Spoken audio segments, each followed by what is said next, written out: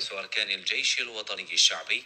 اليوم بمقر أركان الجيش الوطني الشعبي السيد شوغايف ديمتري إفجينيفيتش مدير المصلحة الفيدرالية للتعاون العسكري والتقني لفيدرالية روسيا وذلك بحضور ضباط ألوية وعمداء من وزارة الدفاع الوطني وأركان الجيش الوطني الشعبي وسعادة سفير فيدرالية روسيا بالجزائر.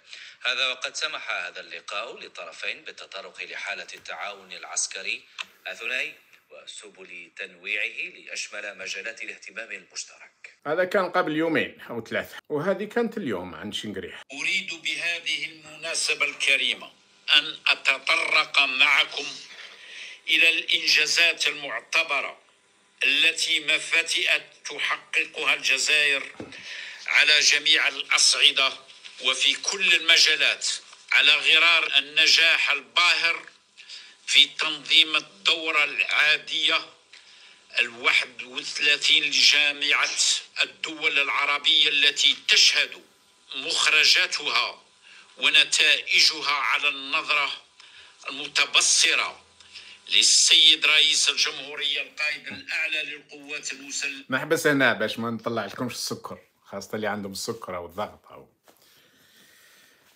شنقريحة راهو راهو في مهب الريح. أو يشكر فيه تبون وقعد يشكر فيه وعارف بلي تبون مسكين يعني تبون ما يحكمش فيه لشيء إنما تبون عنده الختم نتاع أنه هو رئيس جمهورية. فلو كان شنقريحة يبات وينوض ويلقى الجماعة اللي مع تبون قرروا أنهم يطيحوا به وبعثوا رسالة إلى التلفزيون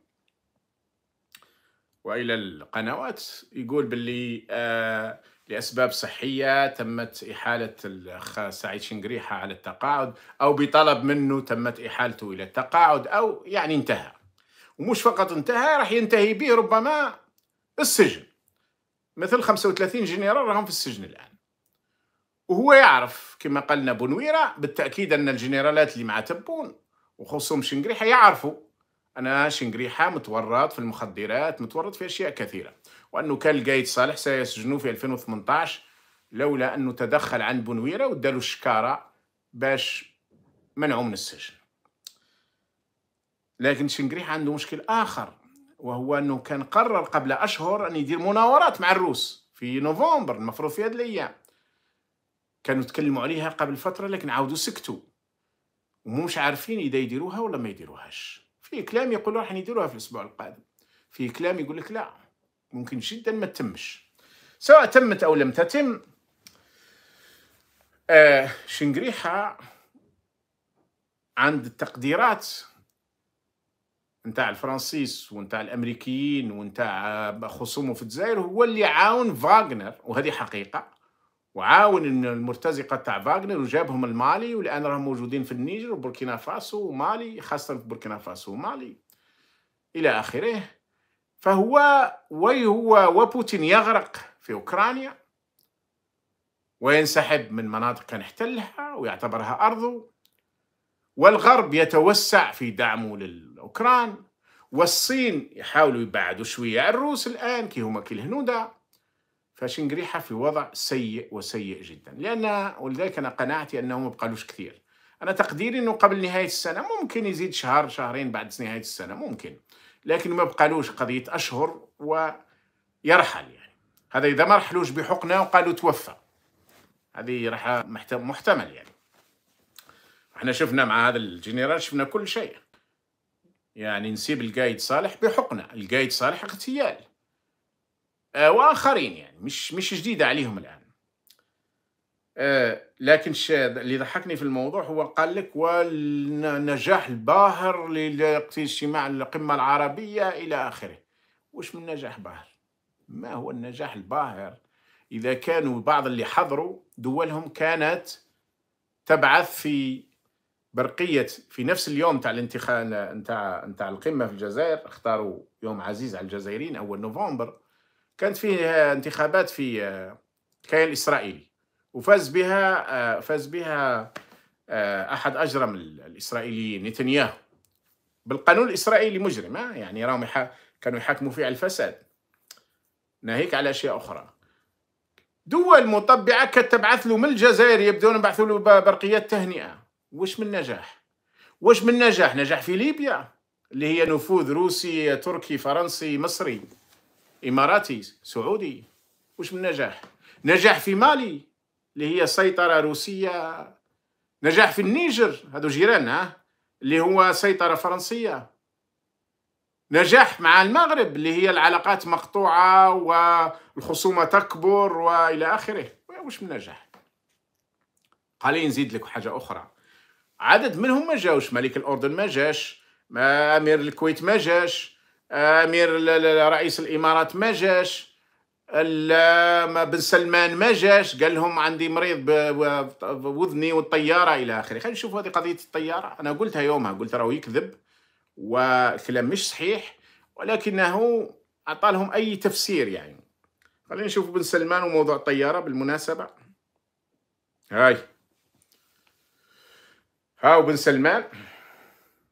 وهذا بيان من عند الديوان السعودي. وش يقول الديوان الملكي السعودي؟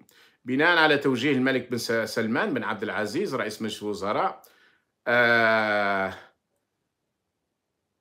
غادر محمد بن سلمان اليوم الأمير محمد بن سلمان ولي العهد ما كذا كذا رئيس إلى آخره لترأس الوفد السعودي المشارك في قمة دول المجموعة العشرين التي ستعقد في مدينة بالي في إندونيسيا. وزايدين.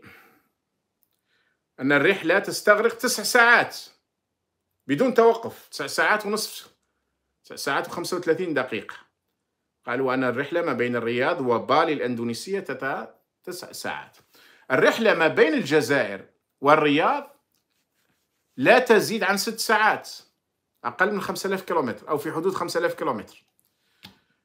الرحلة ما بين الرياض وبالي أكثر من ثمانية آلاف كيلومتر. طيب شكون هو اللي المفروض ما يروح لهاش؟ اللي تاع 9000 كيلومتر 8000 كيلومتر و9 سوايع ونص ولا تاع 5000 كيلومتر؟ اللي هي الجزائر. مما يعني أنه قال لهم أي كلام وكلام تاع تمسخير. وأنا يومها قلت قلت إذا ما راحش لمجموعة العشرين اللي راح تكون في منتصف نوفمبر راح يصدقوه لكن أنا عارف إنه يروح وإحنا عارفين إنه كاذب وإحنا عارفين إنه قال لهم أي كلام.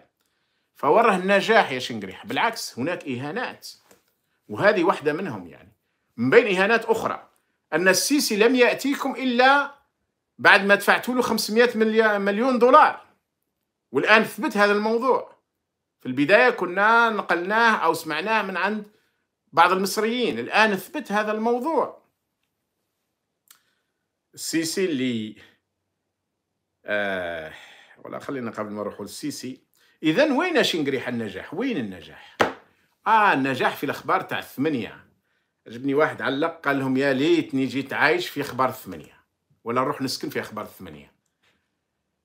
تكذبون على أنفسكم. الشعب يعاني الفقر يزداد القهر يزداد السجون ممتلئة الشركات مهلوكة العمل ما كانش الأوضاع آه، كارثية في جوارنا. الدول الأخرى تضغط. وحتى هذه الدول تمسخرت بكم وأمراءها ورؤساء تمسخروا بكم ما جاوش. وهو بن سلمان صفعة شديدة.